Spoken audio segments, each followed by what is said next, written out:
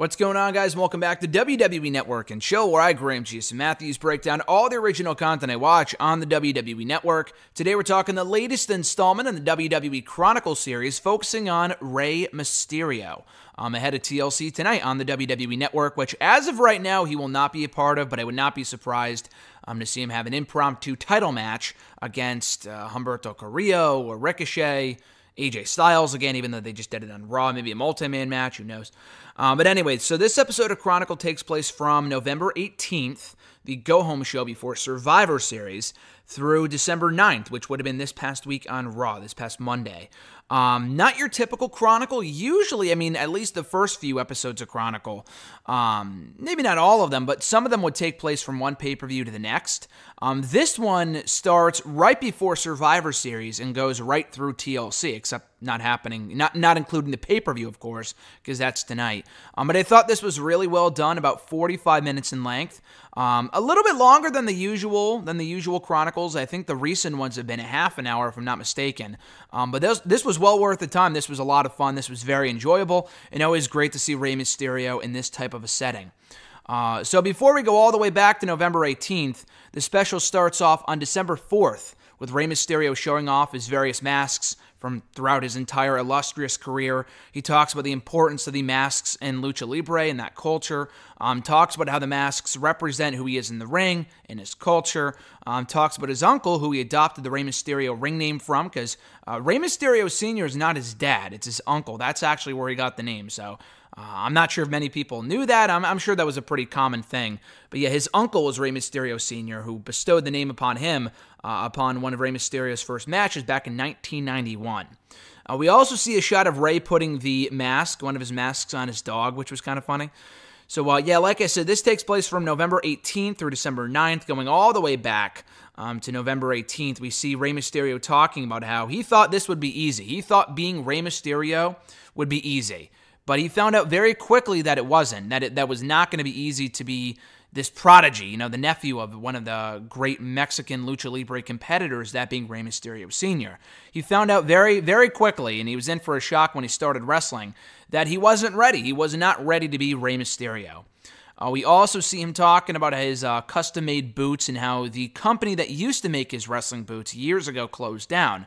So Natalya bought him uh, an awesome pair um, that I guess he probably still uses to this day, a pink and, uh, and black pair um, that um, that she bought, I guess, right before they went out of business or right after they went out of business.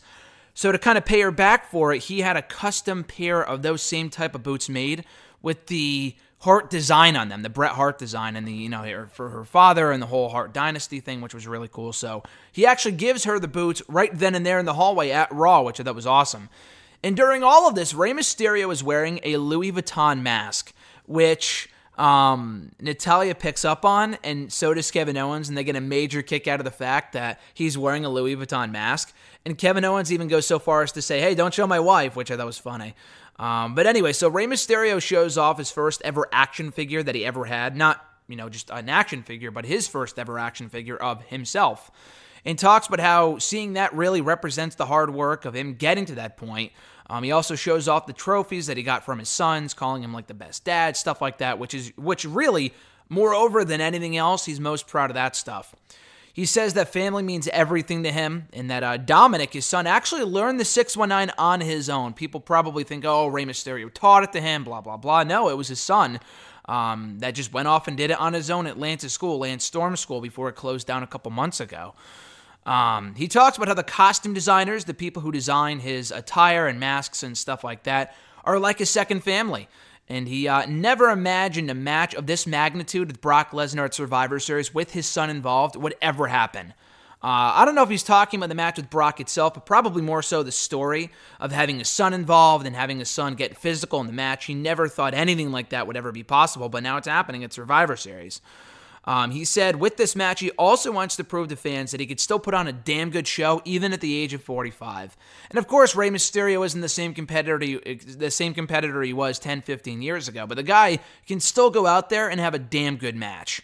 Um, so we talked about how he never really pushed his son into wrestling. and how, you know, he kind of wanted him to make that decision on his own. He said that Dominic was very passionate about football, so he graduated high school, where I guess he played football. And I believe he did baseball too, because when I met Rey Mysterio about four years ago at a Northeast Wrestling show, I didn't ask him how his son was doing, but someone else did next to me that was right behind me in line.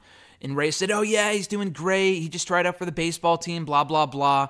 So I think he's 22 now, so he would have been 18 at that point, so probably a senior in high school. Uh, Rey said that he graduated high school and that he went to community college. Not saying what he wanted to pursue, um, but he went to community college and he was there for no more than six months before he had to sit down with his dad, Rey, and told his dad, listen, I want to go into the family business. I want to wrestle. And Rey was like, you know, taken aback by this in a positive way. Like, holy shit, like I didn't know he really wanted to break into the business, but here we are, and he's going to follow in my footsteps, which is awesome. Like, I'll help train you. This is cool. So we see them at the Survivor Series show the morning of. We see them practicing the double 619, which was really fucking cool. Um, Rey says that Dominic watched a lot of footage of Eddie Guerrero that same day doing the frog splash so we can kind of imitate doing the move on Brock later on in the night. So we see Rey preparing for the match. Uh, the match, he loses, but it was a very, I thought it was a great match. I thought it was exactly what it needed to be a six minute spectacle with Rey Mysterio putting in a hell of a fight, his son getting involved, Dominic getting in there, hitting the 619 with his dad, the frog splash. It was a fucking awesome moment. I thought it was really, really cool. But he loses. And Rey Mysterio says afterward that you can't get distracted by not becoming champion. So he calls his wife afterward, tells her to thank God, light a candle to thank God tonight, uh, light a candle to thank God tonight for uh, you know being there with me in that moment and uh, helping me get through it, whatever. Uh, we hear from Dominic, who says it was a surreal moment to be out there with his dad, hitting Brock with the frog splash. How cool was that? Uh, Rey reflects on the night and how awesome it was and also thanks Eddie Guerrero for helping him him get there. I mean, I mean, obviously Rey Mysterio was going to wrestle no matter what, but more so for his son. Because remember, Dominic wasn't brought into the wrestling business technically. He wasn't really brought into the fold until that story came about about 15 years ago with Rey Mysterio and Eddie Guerrero. And he was like they were fighting for the custody of Dominic and all that other stuff. And had it not been for that story, who knows if Dominic would be wrestling today? Maybe not. He probably kind of got the love for it, got the taste for wrestling when that story happened 15 years ago. So he thanks Eddie for that. Um, so we hear from Rey a few hours before Raw the next night in Chicago, and he tells the producer, like, listen, there's nothing really as of as of I know right now, there's nothing special scheduled for me on this show. And of course, things can change on a whim. And maybe he was lying and he already knew what was about to come and he didn't want to spoil it. But he sounded genuine when he said, like, I don't know what's going to happen on Raw tonight. And as far as I know, it's not going to be anything major. And sure enough, he went out there, but he said he always he was always ready to step up regardless. Regardless of what was going to be on tap for him on Raw that night, he was going to be ready to step it up. So sure enough, he goes out there, becomes not only the number one contender to the United States Championship, but also the United States champion by beating AJ that very same night. Uh, Rey says that it was really cool for him to see his son taking off just as he starts to ride off into the sunset. He's well aware that he may not be retiring soon, but he's well past the halfway mark point of his career. Um, so to see his son starting to take off and be there in that moment for him becoming United States champion really it really means a lot for him, and he hopes that he can create his own legacy in the years that in the years to come. Um, so he arrives in Mexico. I think they did a, a, brief tour of Mexico in late November. I want to say early December. I think it was late November because I know Cain Velasquez was on the tour here too. Uh, we actually see him here on this special. We don't hear from Cain at all, but we see him with Rey when they're exploring the pyramids of Mexico. But uh, Rey Mysterio says that Mexico gave him a chance to become a star early on in his career, and he never forgot his roots. He remembers his uncle giving him the Rey Mysterio name during his match, actually, not during the match, but right before a match that he had in August of 1991. He was out there and he already had his name picked out and everything, but his uncle came out, cut a promo saying that his son was worthy of the name Rey Mysterio Jr. So now call him that from uh, you know, call him that from now on, which Rey was like blown away by in the moment, and he still obviously went by that name for all these years that have uh, since passed, uh, which is pretty freaking cool. But um, he says that the person who designs his masks has been doing it pretty much since Rey started wrestling. He, uh, the guy's been designing masks, I guess, since he was eight years old. That's what Rey says, which is unbelievable. The guy's 61 now And Rey says, or the guy admits, because he's right there when Rey's talking about him, that Rey was the first person that he ever designed a mask for professionally, which Rey, I guess, didn't know until he told him in that moment, which is pretty cool. Um, he says that he's worn thousands of different designs over the course of his career, a lot of which are inspired by Gucci and Louis Vuitton, which is kind of funny, and how they kind of put together designs. And uh, he kind of uses that as inspiration for his uh, mask designs and attire designs and stuff like that. Um, he remembers calling his wife, who was at that point his girlfriend, many, many years ago when he first started out wrestling in Mexico. He was in Mexico, away from his uh, I almost said family, uh, friends and family, and he didn't really have anything in Mexico aside from his, you know, uh, burgeoning wrestling career. He was just starting at wrestling, and he missed his wife. He was kind of not depressed out there, but he really wanted to go home. So we had a very candid conversation with his wife about should I stay, should I go, should I pursue this? I really want to go home. I miss you, blah blah blah. And his wife actually convinced him, who would later on to become his wife, who would go on to become his uh, wife later on in life, obviously. Um, she was the one he credits that convinced him to stay wrestling and is very thankful for her that she did that because without that phone call, without that conversation, he probably would have quit and we wouldn't have the Rey Mysterio that we do today. Um, so anyway, Rey Mysterio is in Mexico. He checks out all the other Rey Mysterio masks being sold on the street, which is kind of funny, and he takes a picture with the girl that's selling the masks uh, that are like 300 pesos, I guess, which is unbelievable. I think, I, am assuming it's pesos. I wouldn't imagine she would say, oh, $300. Uh, it's probably 300 pesos, but still, that's a lot. Um, so he goes to the pyramids and uh, checks that out, and he remembers being there when he was a kid and uh, kind of reflects on his journey and this 30 year journey that he's had from where he started to where he is today. And he looks ahead to the show that he's going to be having in Mexico that very same night against he said the Universal Champion, so I guess he must have wrestled uh, Bray for the Universal Championship in Mexico, despite already being the United States champion. So he looks ahead to that main event match, and he said that uh, early on in his career, because he gets asked by the producer, was there ever a point, or really rather, he asks, what has kept you grounded this entire time? Because Rey Mysterio is well known for being one of the more modest guys in all of wrestling. And he says there was a point early on in his career that he felt he was getting a big head, or he didn't really know that until people around him, and specifically his loved ones, brought it to his attention that he was getting a big head. So, after being told by people around him, people that really meant a lot to him, that he was getting a big head, he changed his ways, and he has not been that way since then, and he's been grounded ever since. Um, so we arrive at the show. We see footage of the show that he ends up main eventing that night as the United States champion for the Universal Championship. We hear from all these fans who say they're there to see Rey Mysterio, which is cool.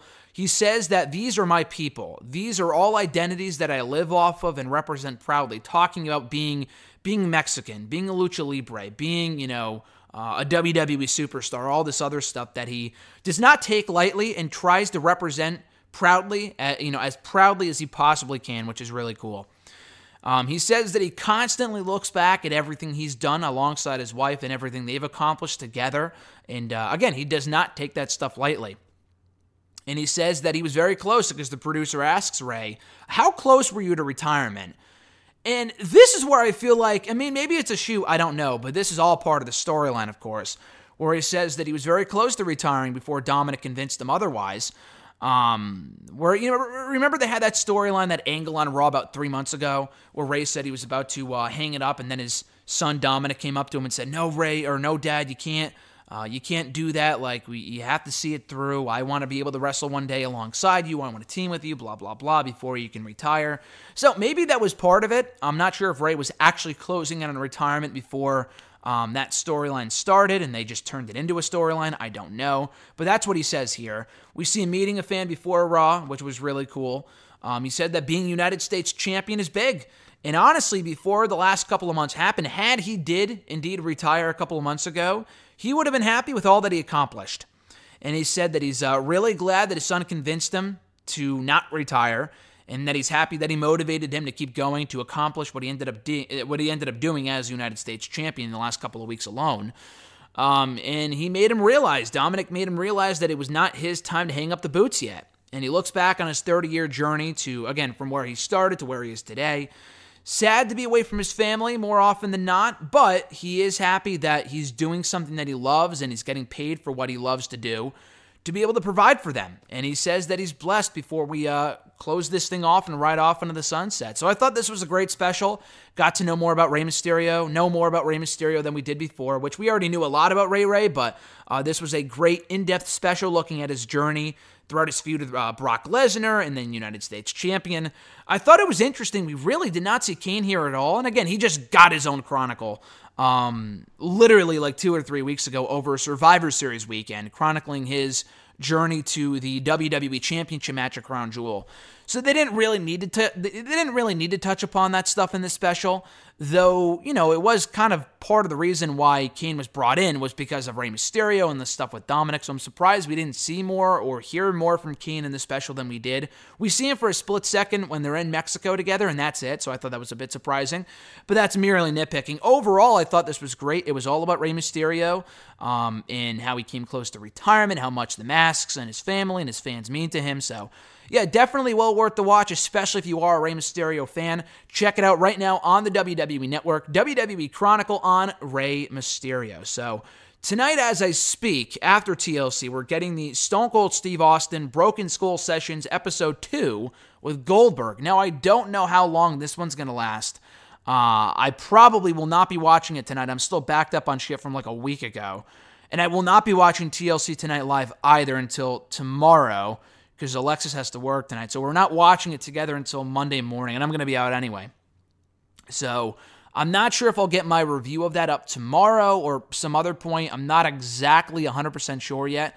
Um, but if I do, if it's not up on Monday, then it should be up on Tuesday. Either way, check it out right here on WWE Network and Chill. My complete review of Broken Skull Sessions, WWE Chronicle, WWE 24, and everything else. Uh, at any rate, guys, thank you as always for checking out these episodes of WWE Network and Chill and the entire channel for that matter. Be sure to like the video, drop a comment, uh, share, and subscribe. All that stuff is greatly appreciated. And uh, yeah, enjoy TLC tonight. Enjoy the rest of your weekend, folks. I'm Graham Giuseppe Matthews. Enjoy the holiday season, and I'll catch your ass down the road.